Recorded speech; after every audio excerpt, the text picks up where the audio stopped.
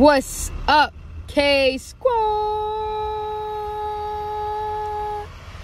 I really miss y'all, man. Today's Motivational Monday, so I'm back. Let's be gonna hold y'all. I've been struggling with the Fridays, but that's because once Friday get here, I've been working so hard all week that it's like crazy. I'm on a run and I'm trying to do things for me. Don't worry, I got y'all this Friday. If I don't record anything, I am gonna go live. So today I'm feeling like, um, you know what I'm saying? Earth, wind, and fire, babe. I just want to come on here and talk about being thankful most of us come together with our family and friends or with our immediate family or some of us spend it alone by ourselves and that's okay too. Um, but i just wanted to come on here and say that i'm thankful personally for you guys. I'm thankful for um, my son. I'm thankful for my family. I'm thankful for my girl. I'm thank you thankful for her family. I'm thankful for um, the universe in, in itself. I think that it's a blessing to be alive and you just got to be grateful. You got to be thankful and you got to know that every day is a new day and every, every day is a new start to a new beginning. I'm also thankful for just having life itself. And I think that we forget that breath and life is not promised. And I think that we take for granted that tomorrow is not always going to be for everybody. You know what I'm saying? There's plenty of people who don't wake up the next day, and I think that that's why we should live every day like it's our last. So whatever you're doing today, if you holding off on something because you're fearful of it, just do it and get it done because you just never know if you run out of time. When it comes to you guys starting businesses and wanting to start businesses, go ahead and get it done. That's the best thing you could ever do for yourself. When it comes to you guys wanting to um, quit that job or start that new job or take that new promotion, go ahead and do so. You got to stop living in fear because honestly, guys, fear is not going to get you nowhere but stuck and stagnant. And you don't want to be that. You want to be you want to have upward mobility. So because I'm thankful for you guys, I'm gonna uh, send positive energy away. I'm also gonna send upward mo upward mobility away. I um, speak that into your life for 2021, the remainder of it, and the whole 2022 and moving forward. I think that this year was a struggle for probably everybody. And I know that we uh, struggled so much this year that next year we deserve for it to be ours. 2022 is going to be a great year. We're going to end off 2021 with a bang. Um, we got to make changes for 2021. What's the changes that you're going to make in your life for 2021? And what are you going to do different this year? How are you going to be productive next year? How, how are you not going to go into next year and the end of next year saying the same things that you said last year or around this time this year? You know what I'm saying? Um, but yeah, that's my little spill for today. It's nothing, nothing really uh, crazy. Uh, you, you, you. Let me know what y'all think in the comments below about this, the spirit of giving when it comes to holidays guys i don't really like uh go all into like the whole historical aspect of why we celebrate the holiday. When it comes to history for me in particular i think that there's a lot of omissions and i feel like it's hard to draw a conclusion when you have so much information left out so i just don't go into politics i don't go into history i don't go into none of that.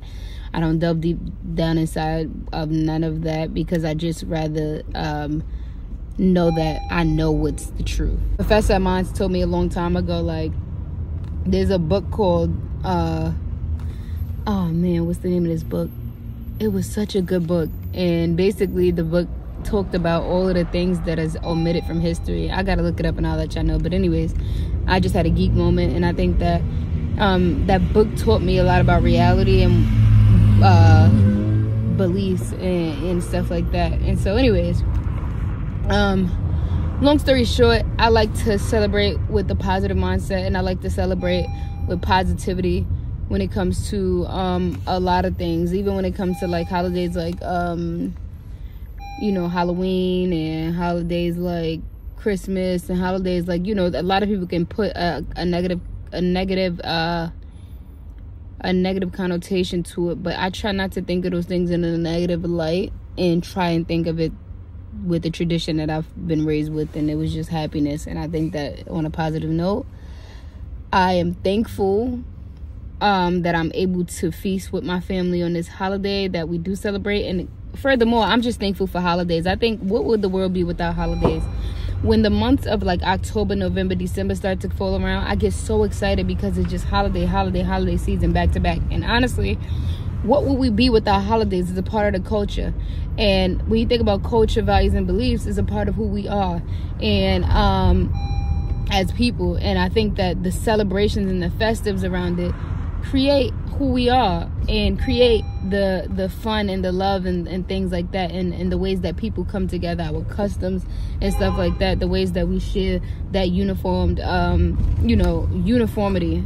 And i think it's dope so with that said i am a person who celebrates holidays i think it's a blessing and i think that it's just cool so long story short i hope you enjoyed this video I'm driving right now, but I still wanted to get this video out. You got to be flexible.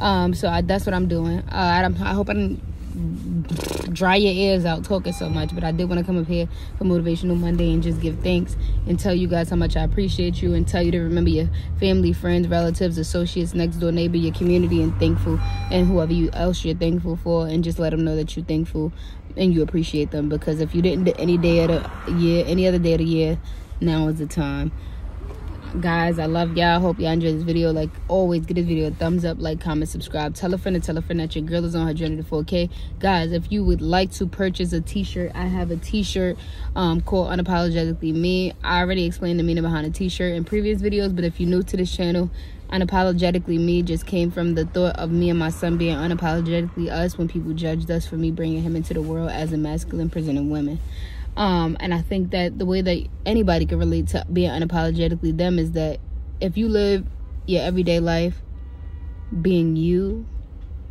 not caring about people judgment, not caring about what people are going to think of who you are as a person, then you are unapologetically you and that's all that means it's just you know it, it's a huge meaning for such a small word on a little small shirt. And i think that everybody can relate. So if you can relate and you want to purchase i do have those shirts for purchase. All you have to do is let me know in the comments below. And um, the site is not up right now because it's under construction but you can let me know in the comments below and i'll get your information and get that shipped out to you. Um i love y'all peace. Oh the insemination tracker is still up and it's still on amazon guys. If y'all do know anybody that's trying to currently get pregnant it does not only have to be an lgbtq couple heterosexuals who's trying to get pregnant too have to follow an insemination process if they want to be as successful. I know a lot of heterosexual couples who tried to get pregnant uh, but and they thought just because it's a man and a woman like oh i'm gonna just go have sex he's just gonna um uh me and i'm i'm gonna get pregnant. And it's just like nah it wasn't that easy. So now we got a plan because it's not happening. I keep taking pregnancy tests and it's not happening. So for those of you who know people who are currently in the season of wanting to build and expand their families. It can be anybody from any walk of life. I do have the insemination tracker slash journal slash planner available. Um, the planner is so cool. It has a space in there for you to leave notes for your child. It has a space in there for you to leave notes for yourself, take pictures, leave memories, memoirs. It has a bunch of things and it's one little insemination tracker, and it also has a um, organized space for you to track your ovulation. So, guys, if you have anybody that you know that want to expand their family, let them know about the insemination tracker. I love y'all.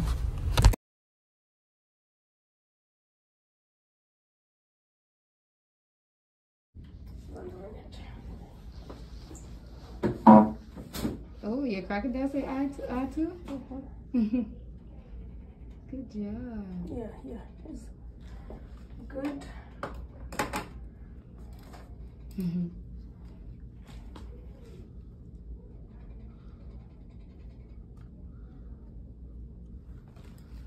Okay, one minute.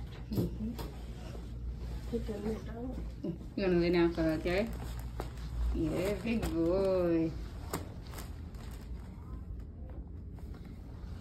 His stomach is okay. His stomach is okay? All right. Yeah, no lymph. He's good. Okay.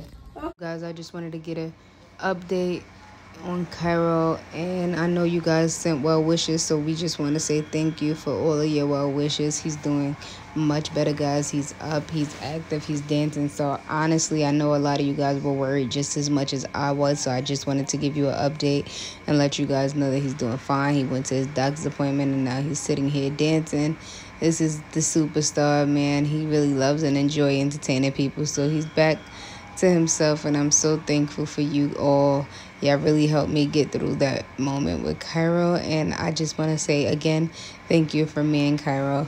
And I hope y'all enjoyed this video, guys. Like always, give this video a thumbs up, like, comment, subscribe, tell a friend, and tell a friend. And most of all, guys, happy holidays. Have a good holiday and stay safe.